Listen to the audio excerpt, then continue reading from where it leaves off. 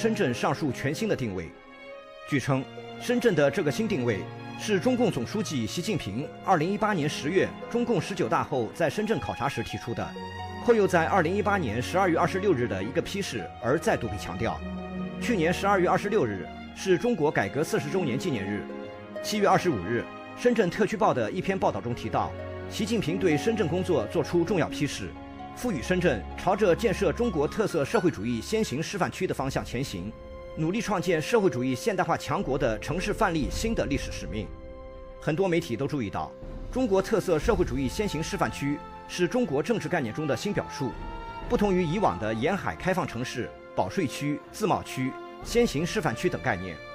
深圳要建设的先行示范区，对标的不是具体的经济和贸易制度变革功能，而是中国特色社会主义这个宏大的框架。因此，某种意义上可以称之为政治特区。中国特色社会主义现代化的试验场，从经济到政治的逻辑，作为中国改革开放的一扇窗口，深圳一向都是观察中国经济发展及其改革动向的焦点城市。可以说，深圳是当代中国发展的一面镜子。从经济特区到政治特区转型，也是中国正在进行的二次改革以及实现第五个现代化为目标阶段性发展任务的现实需要。深圳在过去四十年的改革开放进程中，可谓顺风顺水。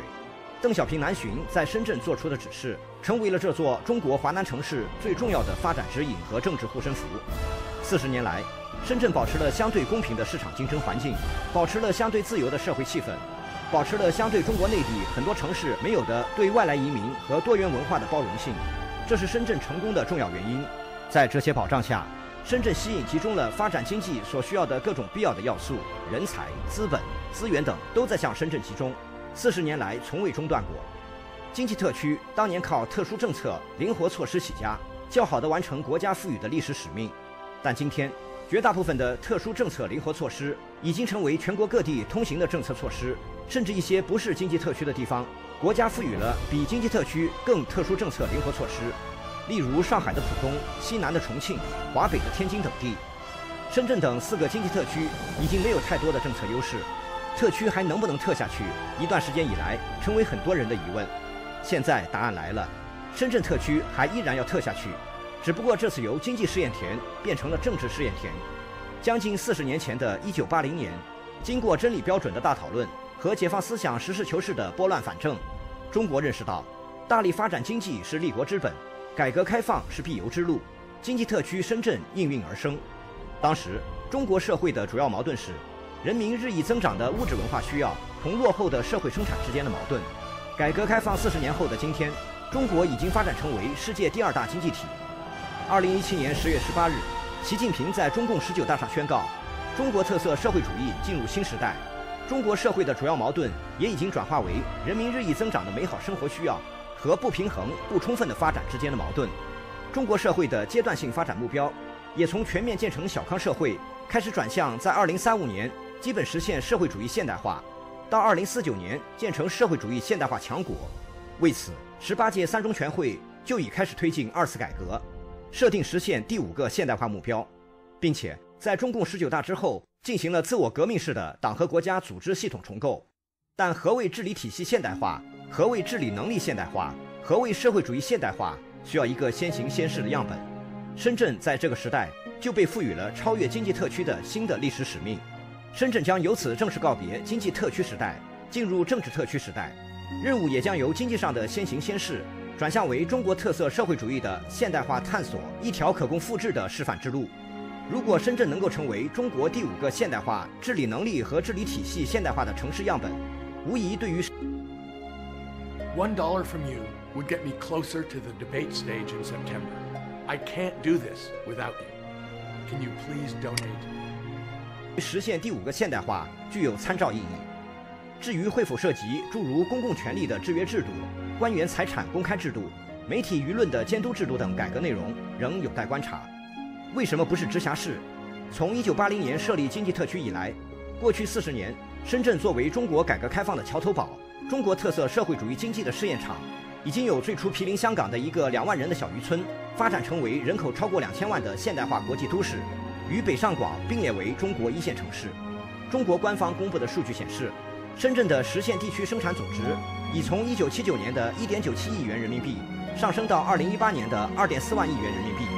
经济规模超越香港，仅次于北京、上海。鉴于深圳如此庞大的经济规模和经济辐射能力，此前中国网络上出现了深圳将成为直辖市的传言。这一传言在2018年习近平考察深圳前后尤甚，理由是当年中国改革开放的总设计师邓小平南巡，圈定深圳作为中国开放的窗口城市，成就了。如今的深圳。习近平的南巡可能围绕深圳的地位再做文章，而深圳升格为直辖市，似乎也符合中共高层继续扩大开放态度的一种展示。而事实上，2018年两会期间，既有人大代表建议设立深圳直辖市，将惠州、东莞并入深圳辖区。二零一五年二月，来源于中国某财经媒体的一篇标题为《深圳一个最应该成为直辖市的城市》的文章提及，早在重庆申请升格为直辖市时，深圳就积极向中央申请直辖。申请报告中附列了将东莞、惠阳等周边城市划归深圳管辖的方案，但当时中央只批准了重庆。更早的二零一一年，也有某来自香港的全国政协委员在接受记者采访时提出，希望能将深圳设为直辖市，并以香港、深圳为核心。建立大珠三角的超级国际大都会。当时有分析认为，虽然深圳是中国经济发展最好的城市之一，但土地严重不足，对周边带动不大。如果将周边东莞、惠州、中山等部分地区划给深圳，并整体升级为直辖市，将极大促进粤港澳湾区建设。现在，北京对深圳政治特区的定位，无疑让深圳将成为直辖市传言止于传言。相比于直辖市，还是政治特区。中国特色社会主义先行示范区更适合深圳这个曾经的改革开放试验田。深圳作为中国改革开放的标志性窗口，如果由中央进行直辖，可能意味着深圳在经济体制和政府治理上自主空间的压缩。在中共高层频繁强调继续扩大对外开放，以及第五个现代化目标的提出，中国特色社会主义先行示范区的独特定位，能让深圳获得更大的治理空间和灵活性。具体层面，如果深圳能够成为现代化的城市样本，无疑也将对毗邻的香港以及整个粤港澳大湾区发挥辐射作用，这应该也是中南海所考虑的。深圳过去承接了香港制造业作为经济发展的起点，近年在发展创新科技方面脱颖而出，香港只能望其项背。目前，深圳也希望在金融地位方面有所提升，锐意打造前海成为国际金融中心。但由于人民币国际化仍然需要一个过程，即使深圳与香港有竞争的关系，也是暗中较劲。况且，香港无论如何先行先试，其条件在内地其他城市不可能有示范作用。所以，深圳之于香港是合作关系大于竞争关系。在创新科技方面，香港具有研发和接近国际市场的优势，深圳有商业转化和生产制造的优势，两者合作相得益彰。深圳成为先行示范区的另一个历史时刻，是在香港出现政治混乱之际。从六月开始的多番冲突，香港内部人心惶惶，外界对香港的印象在减分。今后如何发展，需要特区政府提出振奋人心的利民惠民政策，而深圳的进一步发展可以为香港提供一个大后方，为工商业市场和人才流动提供一个更大的发展空间。虽然很多行业和很多市民未必会对这个大后方趋之若鹜，但深圳已是整个大湾区的有序发展，也可以成为香港的定心丸，其象征意义不容小觑。事实上，从深港两地动作来看，深圳与香港的深度合作在土地空间方面已有成功样板。早在2017年1月，深港正式签署关于深港推进落马洲河套地区共同发展的合作备忘录，同意合作发展河套地区为深港创新及科技园。其中，香港将支持深圳将深圳河北侧毗邻河套地区的三平方公里打造深圳科创园区，双方优势互补，共同构建深港科技创新合作区。深圳在河套地区有79万平方米的土地，土地权属于深圳，建设规划使用权属于香港。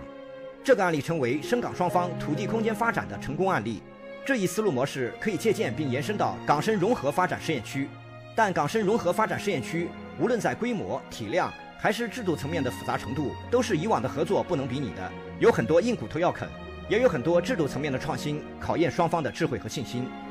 香港正处于一个十字路口，何去何从，需要香港各界从长计议。但起码有一点可以作为借鉴，就是一河之隔的深圳。即使其发展模式未必可以在香港复制，但也不能不密切注视其今后的发展动向。本期节目就到这里，感谢大家收看。